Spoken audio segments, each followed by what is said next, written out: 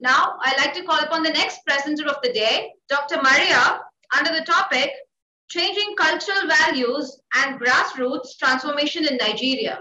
Good morning, everybody. I'm Dr. Maria Ekpenyong from University of Ibadan in Nigeria.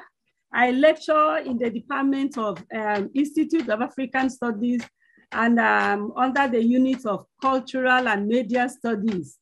Uh, I'm very excited to join others and I really want to comment and thank the organizers of this conference. Also want to appreciate the past um, presenters so far. My topic is uh, changing cultural values and grassroots development. Um, because I, I believe that so many things are going wrong as long as cultural values are concerned and so many people are dissatisfied with the current, with the obsolete and irrelevant um, cultural value. So the purpose of my paper is to propose a change in cultural values content to digitize um, technology so the cultural values will not go into extinction. Values are valued by everybody. We value values and we want them to stay. We want to sustain them. But what we are saying, what we are saying is that the current one that is going on in Nigeria is obsolete and is no longer relevant to the current trend of things. For instance, our people are rejecting change and they don't want to embrace new changes. But something happened about two years ago when the COVID 19 pandemic came in. We saw that everybody ran, everybody got scared. And based on that, so many people embraced all the changes that were going on by then, such like a compulsory use of a face mask, compulsory washing. I mean, people do, did that in order to survive. And um, that's why I'm looking that we can apply same to other sectors, educational sectors. I was talking about this one. I now want to go to the problem. Let's move. So I'm trying to say that we have so many relevant and obsolete values, and so many people are dissatisfied. Adults, youth, and children. As, as I, I told you that I teach cultural and media studies. The issue is a very serious issue of concern to my students. They keep raising these issues that why are we still going on with all the changes in the world, with, with the globalization, with the new trends, that in Nigeria, we are still marking time with the old cultural values, certain values like women are not allowed to go further certain level of education. Even the health sector, there are certain medications that Nigerians are not allowed to embrace or benefit because of a uh, culture, because of traditional value, values. Even our mar uh, marriage system is affecting our marriage system. The way we are still falling back in the old ways of organizing marriage, you know, uh, making it so expensive, making the people concerned to be so unhappy, making the couples to be so unhappy because the parents are in disagreement. They don't want to embrace what is going on in other cultures. Other cultures are so not so expensive, but Nigerian cultural uh, values makes it impossible. In fact, enforces expensive marriage cultural system. And people don't like this at all. They are dissatisfied. So we want to introduce, we want to see how we can bring a change, new ease of life, so that life will be easy, especially for those at the grassroots.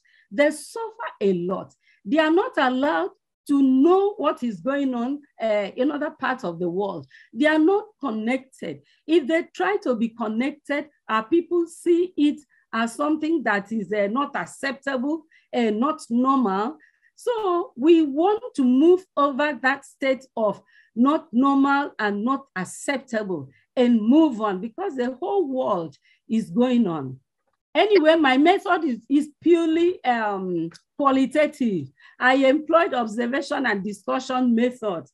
I moved to people. I consulted relevant research works and then I moved to people in the towns, in the university, in local communities, also moved to church leaders. I moved with the market leaders. I spoke with them, the men leaders, the market women, the women leaders, the youths. I sought their opinions on the um, obsolete cultural values, and they all agreed that we need change they all agree that we need change that is no longer relevant. And then um, I'm under results and discussion now. So from the outcome of my discussion, of my findings, the paper found that digitizing cultural values will reposition and add values to cultural content for cultural transformation in local communities we need to upgrade. We need to join others. We need to see what others are doing and join them. We need to be opened up to the world. We need others to come in and invest in us because uh, there are some of the cultural values that do not allow our foreign investors to come in. Even there are some NGOs that cannot function in local communities. In fact, there are even some traditions that do not allow the foreigners to come in to enlighten. So the people at home, they are just like that. They are not enlightened. Yeah. They are not enlightened. They don't know much what is going on in the world. So that is what we want to do now. We want our people. In fact, we're even talking about acculturization. We don't even want not that we want to throw away our own cultures, but we want to merge it with others. We want to open up to others and we want others to enjoy our own culture. So new values will influence social lives at the communities and people will be enlightened and new behaviors will be inculcated into the, uh, the, the community lives and then their views on traditional uh, beliefs and laws and custom would change and they will be able to embrace the whole world. So I can now move to the significance of this paper. This, with the significance of this paper, I want to say that since the values are widely recognized and respected by community people, that is Nigerians, as what is important to them, as what is necessary to their survival, as what they identified with and something that will um, um, uh, uh, positively impact their way of life, their needs, their, with changing cultural values at the grassroots. So with this paper, they will begin to understand why they should embrace cultural values, why they should do away with irrelevant ones. And why they will they should embrace the media especially the social media. And again why the media themselves should do their work by enlightening the people by creating awareness of the harmful cultural values and then they should promote the positive ones. Conclusion the paper concludes that Due to the global changes such as COVID-19 pandemic, Nigerians cannot afford to live with what is termed normal or acceptable at the grassroots. There is a connect, we believe, between changing cultural values and grassroots transformation. New cultural values, we believe, will save family and social values from extension. Again, Changing cultural values are seen in the modes of acting, speaking, dressing, even in the eating habit through social media. Social media have invariably exposed all these things. So why do individuals still hook to the uh, the obsolete values and they don't want to embrace? And we are saying that since the social media have exposed all these things, that we should lower our pride and accept change. We also said that there will be positive change in the community's values, norms, and the people's lifestyles, as well as access to new uh, talents and increase, and it will increase glo uh, global cultural awareness. If people are freed from obsolete values, they'll be able to have their own minds. With their own minds, they will begin to think better, think in a creative manner. They'll be able to invent so many things that will be relevant to their ways of life. Recommendation. The future step is for the community leaders and community people to be liberated from obsolete cultural values. We are saying that they are obsolete, they are no longer um, relevant. And we are saying that we should embrace uh, the principle of acculturation to keep up with the emerging um, global demands and survival of the future of the community people. Thank you very much. I have about five references here. Um, they are here with me. This is the end of my presentation. Thank you very much. Thank you so much, Doctor. Now, I request the participants to raise any queries and please put it in the chat box or QA session so that doctor would answer you.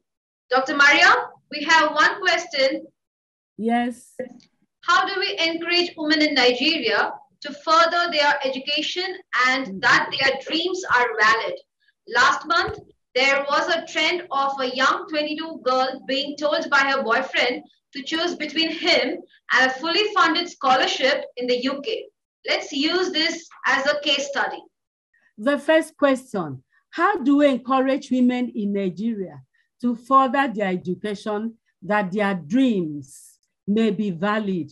Um, this could be done through creation of awareness, moving and meeting women in groups, meeting some of the educated women making, talking to women in churches, going down to the grassroots, meeting them in different groups, encouraging them and telling them about the usefulness of education, telling them why they need to be educated in so many areas, in the health sectors, in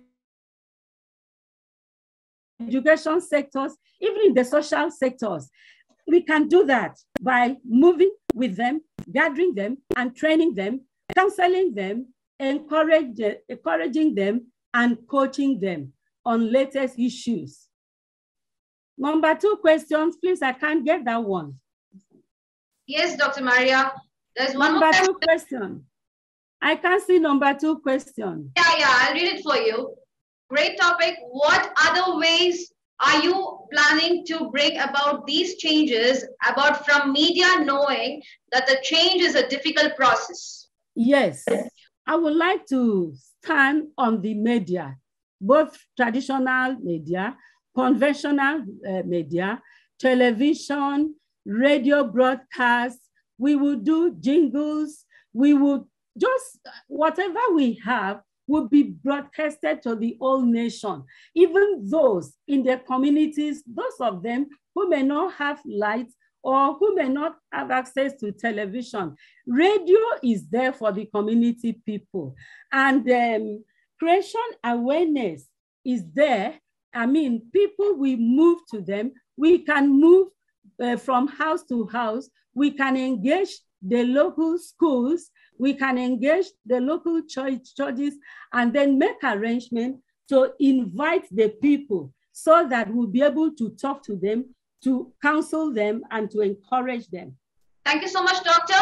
We have one more question. Cultures all over the world have great positive values which should be yes. copied and improved on while negative vices in the culture should be discouraged. Um, yes, there are so many reasons why um, uh, obsolete cultures should um, be discouraged. Once we're able to move above obsolete ones, we will be enlightened. So many changes are going on in the world. There are so many inventions. We no longer want the negative cultures. Uh, they should go. We said that the negative ones, they should go. They should go. We don't want them again. with the new trends in the world, um, people will be educated with what is going. People will be able to create. People will be able to uh, um, uh, to, to, to invent. For instance, like in Nigerian hairdo, we can see the new trend. We can see how the people are embracing the new trend. In the past, we only maintained the black hairdo and trade one, but we could see how different colors have come and people are embracing it and that and people are happy so other things like that in education so many women um, have moved up they are lecturers they are teachings they are owning companies, they are owning um, um, television shows, and all those things were not allowed before. And we need a new one so that women can move on and they'll be satisfied with their lives. The whole Nigeria can move on, even other countries, and be and, and, and then be able to sustain, they'll be able to survive because so many things are changing. We don't know what is likely to happen tomorrow. So we should be able to embrace um, all these digital devices so that we know what is going on and then follow the trend. Thank you so much for the brief. We have one last question. What particular values are we targeting for change and which foreign culture values are we sell? Foreign or global culture to imbibe? Well, there are so many values. And you know, um, um, to me, there are certain values like um, values of love, sincerity, honesty, truthfulness. Because if we are truthful to ourselves, we will be able to, to encourage and, um, and counsel others in the right way to go. You know, there are so many uh, corruptions and dissatisfaction, and those are covered under cultural values. But if we can bring up those of uh, transparencies, love, accepting others, opening up to others, opening up our borders, embracing other cultures, in fact, sharing other cultures, I think that things will be better. Thank you so much, Dr. Maria. That was a wonderful presentation and you have received a lot of appreciations. Thank you very much. Thank you so much.